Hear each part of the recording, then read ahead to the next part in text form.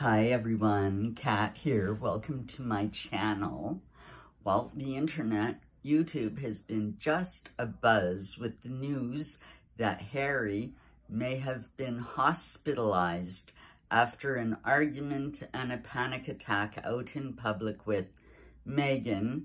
Uh, reportedly, a Montecito newspaper has uh, reported this. I couldn't find it. I did look, but I, I mean, I don't know all the newspapers there either anyway. But there's a lot of talk about uh, what may have actually happened. Some YouTubers are saying, you know, um, sure he may have had a panic attack. There's news that he's in a psychiatric setting.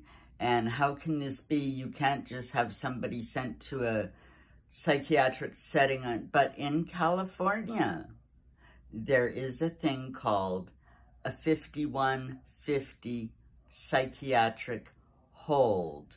And this is a case where an ambu you can call and an ambulance will come and an ambulance uh, will take the subject directly to the hospital for um, a period of time.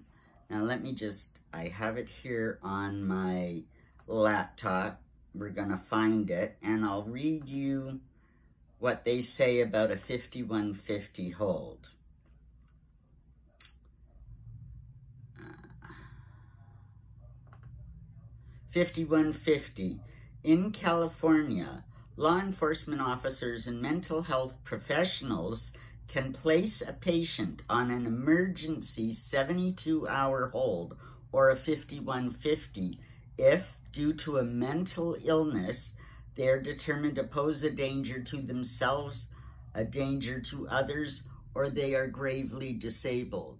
Now, we saw 5150s being used in the case of Britney Spears and Amanda Holden, just for a couple of examples, where um, in Britney's case, her father, well, I think at that time it was I think the first time was when her children were very little. She was having, you know, weekend custody visits and it was time to release the kids back to her ex-husband. She didn't want to. And in this particular incident, she locked herself and her one young child in the bathroom. And uh, we, we saw pictures of the whole saga playing out. And it was an ambulance that took her away they loaded her into the ambulance and put her in the hospital. Now, I'm not saying that Harry's outburst or panic attack would have been enough to warrant that kind of a thing. But there are YouTubers that are saying that, um, you know, Meghan had this done because what she wants to do is much the same way Britney's father took control of her finances Meghan could become conservator of Harry's wealth and have control of everything. Uh, and that this is what she's bucking for. This is what some people are saying, and I disagree, and I'll tell you why. In the case of a conservatorship, she would have to, at the very least, pretend she had his best interest at heart and keep him around, keep things focused on him, and she would only have control of the money he has now. I'm sure she's familiar with their bank account. Uh, there's no more money coming from the palace until Harry is 40 years old, and that is the rest of his inheritance from the Queen Mother's estate uh, William got his when he was 40. Harry's to get his in another couple of years. Uh, they won't release that early. In fact, when Meghan and Harry were planning their escape to freedom, they did confront the Queen and ask for that money to be released, and she said no. So there's no hope of Meghan getting any extra money or any new money or a new infusion if she um, puts him on a psychiatric hold and takes conservatorship it's what they've got now. And uh, a conservatorship, in the case of Harry, would absolutely blow up his earning power. uh, it would be non-existent after this. He's a loopy hospital Harry. Nobody's going to pay any money uh, to listen to him. You know, they might pay money to listen to her. They might pay money to buy a book. But uh, her earning power, as far as Harry goes, goes out the window if she if she goes the way of trying to get a conservatorship of him. Notwithstanding, she's going to have to keep him around then. You know, you don't hospitalize your poor husband and then just, you know, ditch him for the money. There is no more money.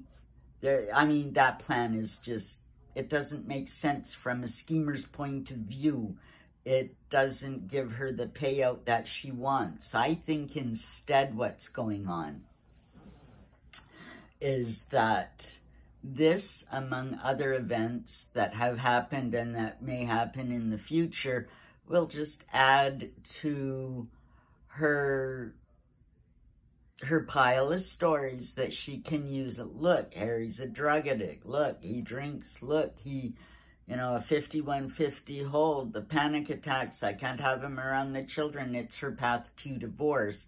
That is her uh, best option at this point, I think, um, in terms of grifting the royal family.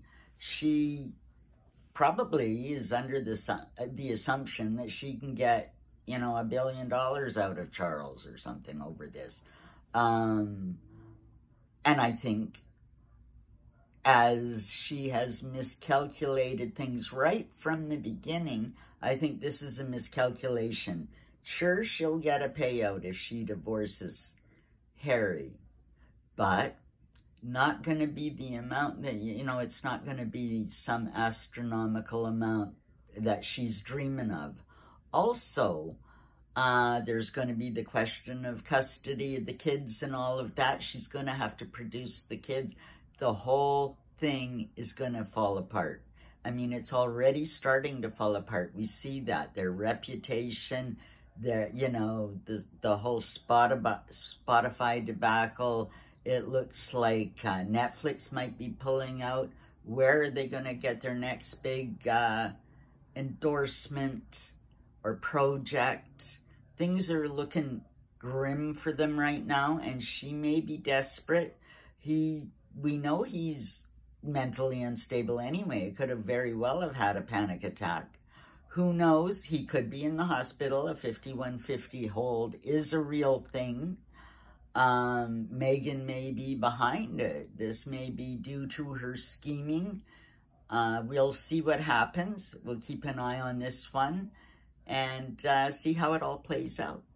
Like, subscribe, leave me a comment and share this video, and we'll see you in the next one. Have a great day, everybody.